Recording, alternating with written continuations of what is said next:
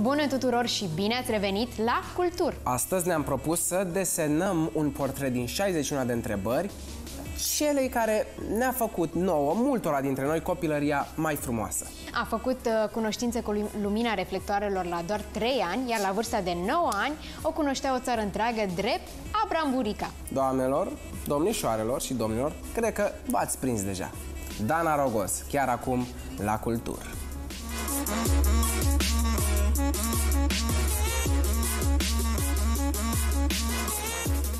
Dana, ești pregătită da. pentru numai puțin de 61 de întrebări? Absolut, 61 de întrebări. Nu le-ai citit? Nu. Păi nici n-aveai cum. Că nu ți le-am dat. Dar să știi că pare înfricoșător, dar nu e. O să-ți placă. Gata. Mai întâi și mai întâi descrie-te într-o propoziție. Uh, sunt Dana Rogoz, mamă, soție, soră, actriță, blogger și un om foarte optimist. Foarte optimist. Păi așa faci față tuturor Da, provocărilor. exact. exact. Zim ceva despre tine acum ce nu știe chiar toată lumea. Ceva mic, poate. Ce nu știe toată lumea este că am o pasiune pentru lucrurile vintage Mhm. și nu numai uh, haine, uh, pur și simplu îmi plac Obiecte. obiectele vechi care au o istorie. Uh, sunt singurele obiecte la care nu renunț niciodată atunci când fac o, o ordine, un decluttering în casă. Și colecționezi și... Nu neapărat colecționez, dar uh, nu vreau să încarc neapărat spațiul în care locuiesc, dar apreciez lucrurile cu istorie. Îmi plac mult mai mult casele vechi decât casele noi, Noi, de exemplu. Și uite, am și o pasiune pentru arhitectură. E doar o pasiune. Și uite, apropo de asta, dacă ar fi să-ți alegi să petreci niște timp într-o altă epocă, în ce epocă ai vrea să pătrunzi? Măcar puțin să vezi cum e. A, nu mă duce foarte mult în trecut. Cred că anii 70-80, așa. 70-80 aici sau în altă parte a lumii? Uh, aș prefera în America, dacă s-ar În putea, anii 70-80, dar uh, de fapt e o perioadă foarte frumoasă, așa.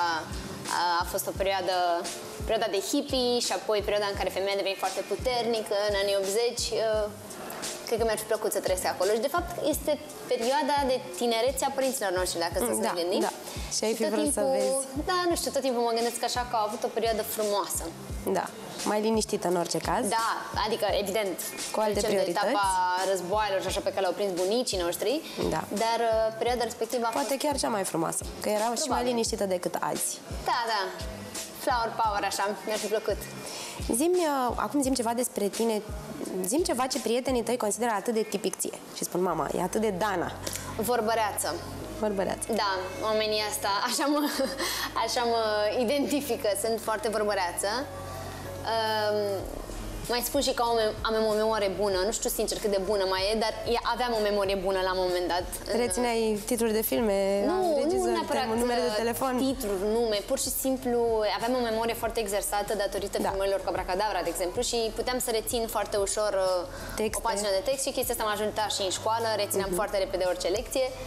Uh, treptat cred că m-am mai lenevit așa, dar uh, totuși uh, a fost o, o, o notă foarte distinctivă a mea mult timp. Și foarte important. Da, am beneficiat, adică e m-am- un beneficiu da, foarte un beneficiu important foarte în mare, da. cariera pe care ai avut-o. Zimi, ce răspundeai în copilărie când erai micuță, micuță, la întrebarea ce o să te faci când o să fii mare? Înainte de abracadabra, dacă îți mai aduce aminte. Înainte de Abracadabra spuneam că vreau să mă fac stewardesă. Aha. Asta pentru că aveam mama o prietenă care era stewardesă și înțelesesem că meseria aceasta se rezumă la călătorii cu avionul, o chestie care Te era fascina ție lucrul foarte ăsta. mișto, nu, desigur.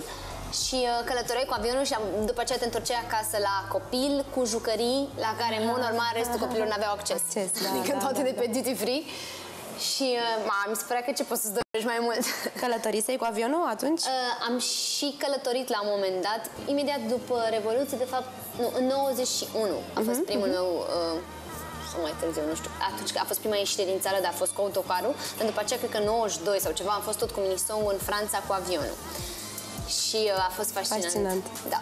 Și îmi doream să fiu stewardesă, după care, în momentul în care am început uh, emisiunea Bracadabra, m-am setat pe actorie și... Asta voiam să zic, da? Din momentul ăla Da. ai știut clar că asta vrei să faci. Da, adică am simțit că m-am simțit bună în locul respectiv, nu știu cum am avut așa un moment în care am zis, băi, îmi place ce fac și simt că sunt de-a locului și că pot să fac chestia asta că mi-ar plăcea să fac pe S-a termen lung. produs declicul. Da. Pe tine nu poți să te mai întreb uh, care a fost primul tău job, toată lumea știe care a fost primul tău job. Da, am început, uh, am început să am salariu de la vârsta de uh, 8 ani. Wow. Mă rog, de la 9 ani așa constant, dar primele, practic, contracte le-am avut început în vârsta de 8 ani Mhm. și de la 9 ani constant, în fiecare lună. Zi-mi un talent pe care ți-ai fi dorit să-l ai. Și nu l-ai, bineînțeles. Mi-ar fi dorit să știu să cânt la un instrument și uh, am încercat asta anul trecut, am încercat, am avut câteva Chitară? lecții, da, cu un profesor la chitară. Uh, mi-am tăiat Asta o e, lungă că perioadă trebuie de, să- de trebuie să timp fii uh, foarte perseverent. Mhm. Da, unghiile uh, în carne, așa. Din păcate n-am făcut-o constant, dar nu am renunțat la idee. Începusem pianul când eram Mhm. mică. Uh, numai că a trebuit să renunț pentru că nu puteam și Aveai cu prea multe pe filmările cap. și cu, da, Da. cu programul de școală și am renunțat la pian, dar acum e un lucru pe care îl regret. Mi-ar fi plăcut să știu să cânt la un instrument. Acum, când ești atât de ocupată și ești și mamă și soție și de toate, zi ce-ți place cel mai mult să faci atunci când ești tu cu tine, când ai timp. Să petrec timp cu copilul, deci asta nu vine în, sau pot, pot să-l adaug, sau doar eu cu mine. Nu, Poți cel să-mi mai mult, spui, sincer, cea da. mai mare satisfacție și cea mai mare bucurie le am atunci când sunt cu Vlad Da. și cu Radu, desigur, dacă suntem undeva în afara țării sau undeva cu rulota, plecați prin Europa sau chiar Ce prin țară sau, nu știu, timpul acela Faceți chiar des mi se asta. pare nu atât de de des des pe cât puteți. am putea, Da, da, pe cât ne-am dorit, dar atunci când putem să ieșim, nu știu, o facem. Suntem călători, am călătorit cu Vlad de când era foarte mic peste tot, am ajuns cu el până în Noua Zeelandă, deci suntem călători. Wow. Da, când avea doar un an și 10 luni, deci Ah, ce frumos! da, nu ne-am speriat de asta, de, de ideea de a călători. Și este, e, mă oferă cea mai mare bucurie așa a sufletului. Mi se pare că că mă împlinește cu adevărat postura asta de mamă. Cum ești ca mamă? Cum ai spune că ești ca mamă?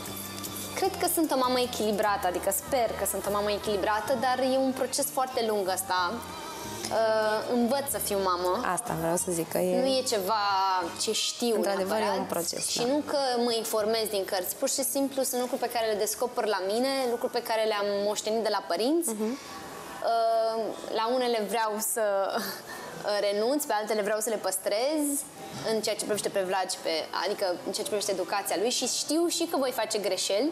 Normal, e inevitabil, dar important dar în e să- același timp uh, e ceva ce mă provoacă foarte mult, adică e cea mai grea meserie și Da. poate tocmai de asta așa încerc să fiu mereu conectată, să înțeleg ce nevoie are, adică am învățat extrem de multe de când îl am pe Vlad, inclusiv despre mine, adică Mhm. știu care îmi sunt limitele, știu acolo unde întâmpină... Ți-ai depășit foarte multe limite da, de știu când e... uh, unde am uh, probleme, știu... uh, Adică am învățat foarte multe despre mine, îi datorez deja multe lui Vlad.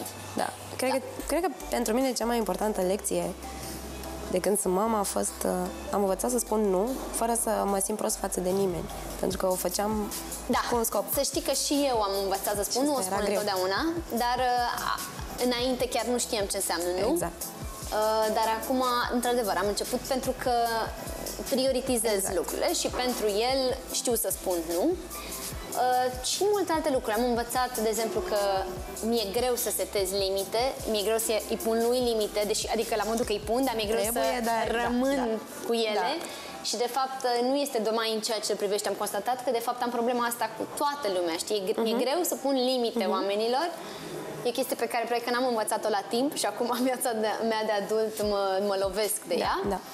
Dar asta zic, învăț, e un proces lung așa de autocunoaștere. Am început așa o, am început pe calea asta, să spunem, și uh, um, dar în același timp mă și bucur, nu știu cum să spun. Adică, repet, cel mai, cel mai bun timp, cel mai...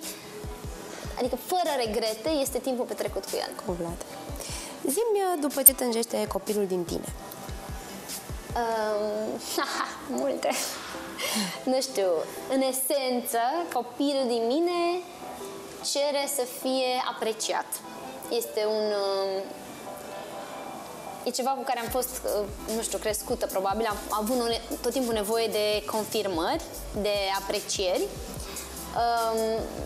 Um, și pentru că în școală, de exemplu, aveam, pentru că eram tot timpul premiantă da, da. și mi se părea că, a, ok, atâta timp Și cât în sunt același cu timp 10 și pe linie. făceai ce făceai și era da, cu la atât școală, mai... apoi aveam confirmări la filmări Da. sau prin, nu știu, castingurile pe care le luam sau aveam tot timpul parte de confirmări și pentru mine confirmările alea însemnau apreciere. Cineva mă apreciază, cineva mă validează.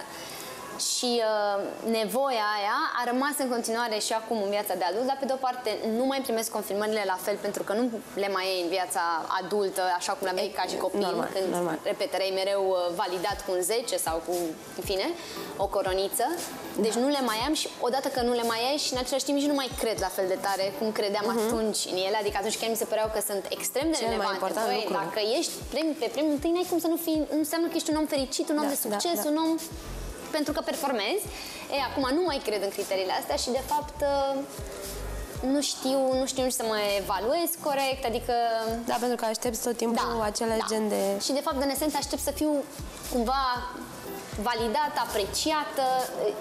Da.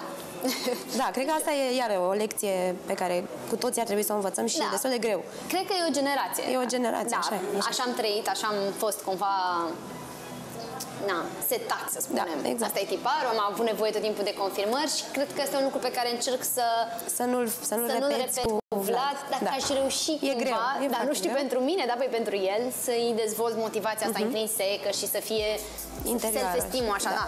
Adică stima de sine să existe indiferent de oglinda din jur, știi? Gratuit, da.